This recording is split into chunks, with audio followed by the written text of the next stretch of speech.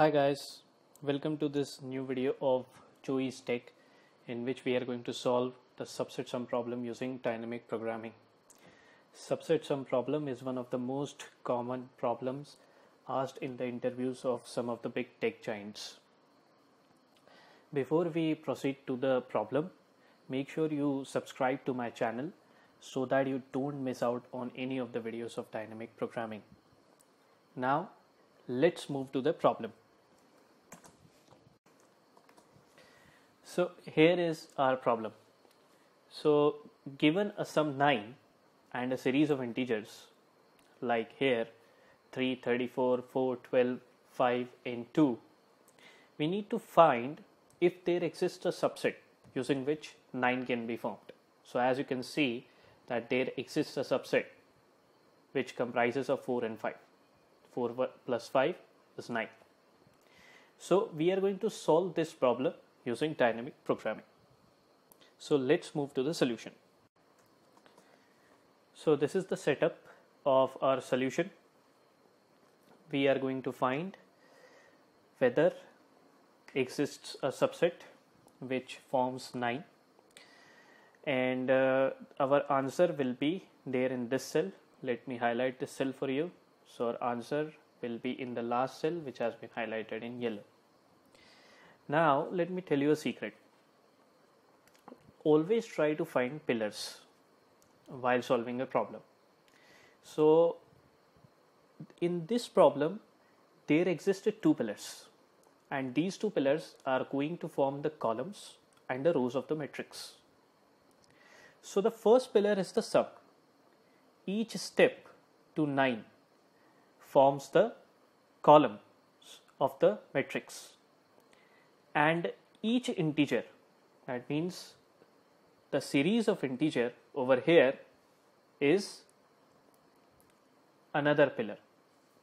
And each integer forms the row of the matrix, as you can see over here the first column is filled with trues. These are trues because our solution is going to be either true or false because we need to find it whether it exists or not. And the first row, which is the zeroth row, has been filled with false. Why? You are going to see it in a moment. Now let's begin solving it. Let's begin filling up this matrix. So now here we start with this row and this column. Now 1 is the sum and the first integer is 3. Can 1 be formed using 3? No way. That means it has to be false. From where this false is coming? It's coming from the 0th state. From here.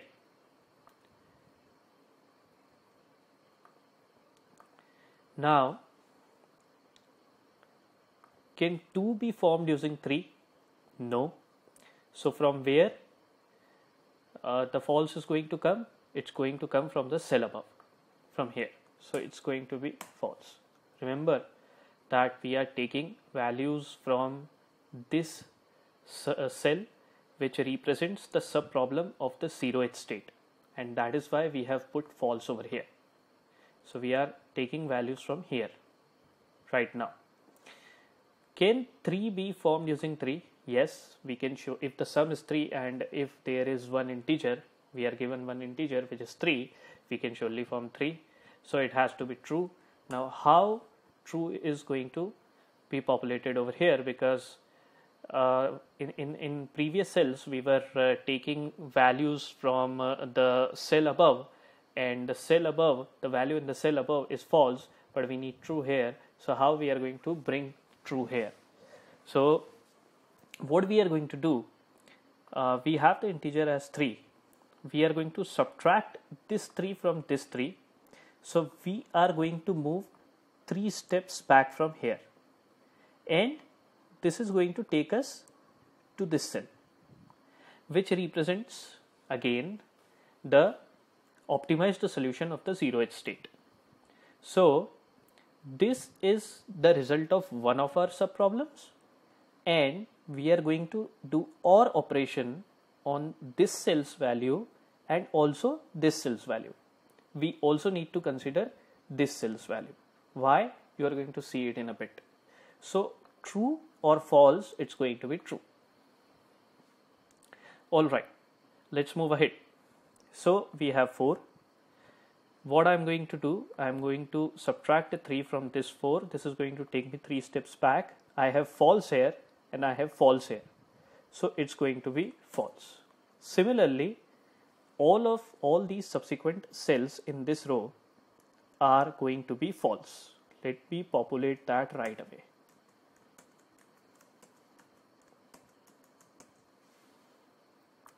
Now, the next integer is 34.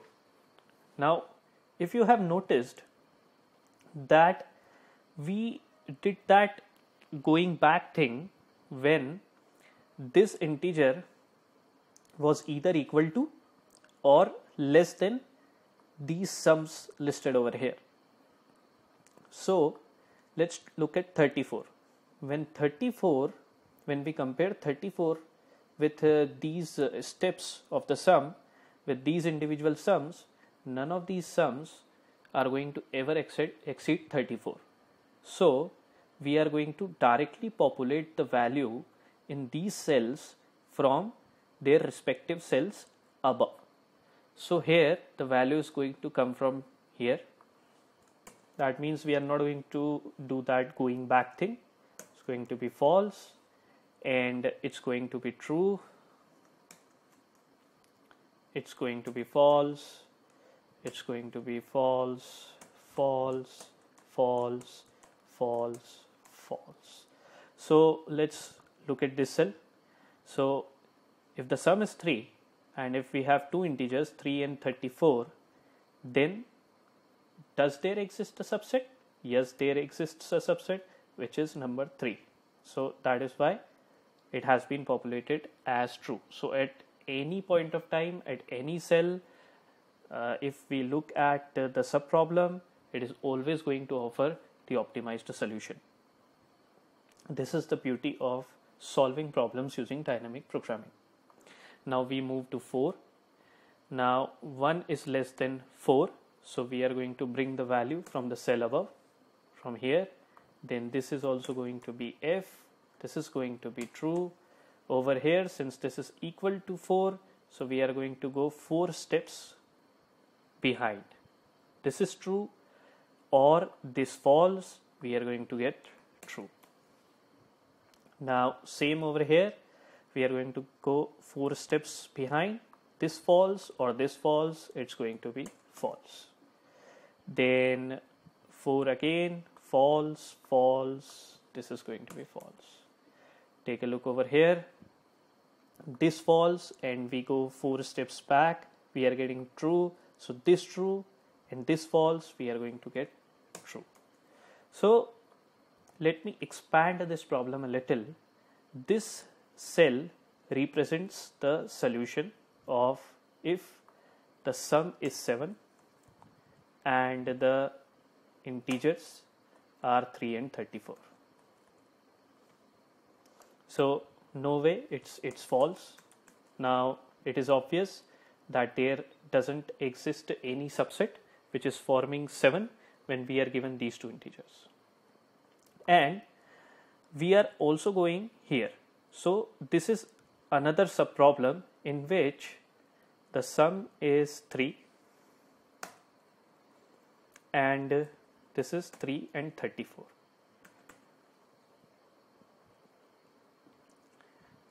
But in this 4 is not involved. In this we are going to involve 4. So I am going to put 4 over here when this 4 is added to 3 we get 7 and when this was true so we are going to pick true from here and we are going to place it over here. So this is what we are doing. So this is one sub problem in which 4 is involved.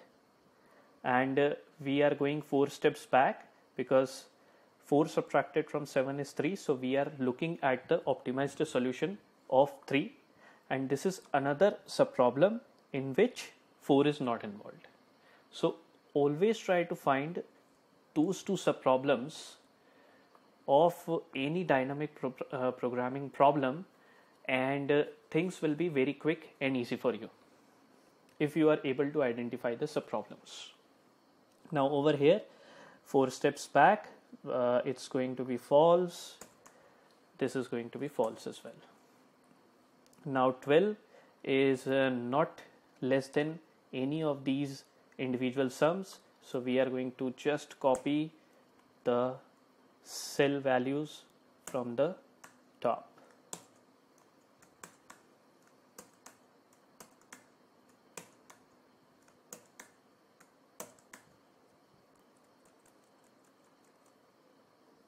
Now check here. We are at 5. This is going to be false, copied from above.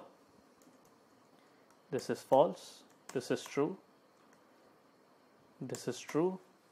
Over here, we are going to go 5 steps back. True or false, it's going to be true.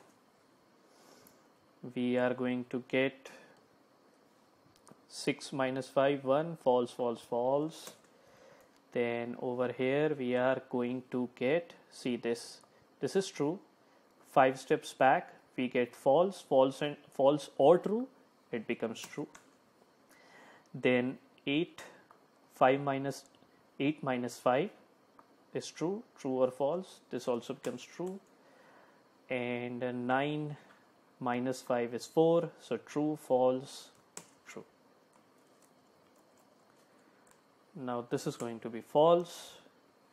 This two steps back true or false it's going to be true. This is going to be true right away because we have true over here. This is going to be again true. Then uh, true or true it's going to be true. Then uh, 2 subtracted from 6 this is false or true.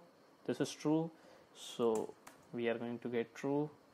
7 this is already true 2 subtracted from 7 is going to take us to 5 true or true? This is true.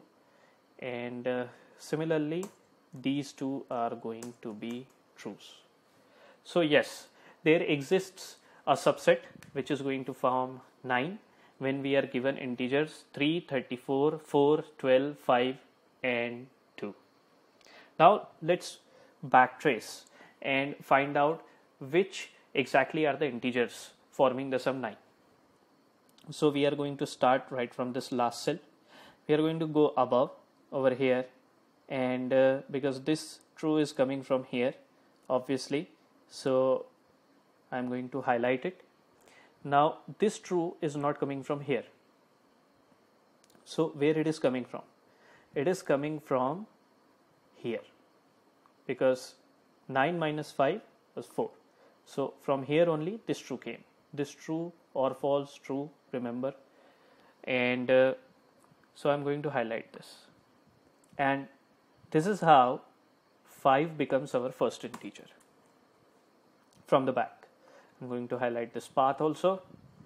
Now this true is coming from here so I'm going to move ahead in the path. Now this true is not coming from here it is coming from here. So once we have reached zero, our search ends. And let me lay down the path for you. So this is the path. 4 becomes our next integer. So 4 plus 5 is 9 and thus we have been able to solve the subset sum problem using dynamic programming. So this is the algorithm this is the algorithm so if uh, j is less than s i minus 1 so s is the set of integers. Then mij which is the matrix equals to mi minus 1 and j. That that means the value from the top. And uh, when it is equal to or uh, uh greater than si minus 1 then mij is going to be the or operation of the value from the top and the going back value. That means mi minus 1 j minus si minus 1 the time complexity of this solution is o within braces sum into n. So i hope you enjoyed watching this video of uh, subset sum problem. I recommend that you practice this problem over and over because every time you practice it, you are going to learn a new aspect of uh, solving problems through dynamic programming. Uh, thanks for watching this video. I'll see you in the next video of Joey's Tech. Thank you.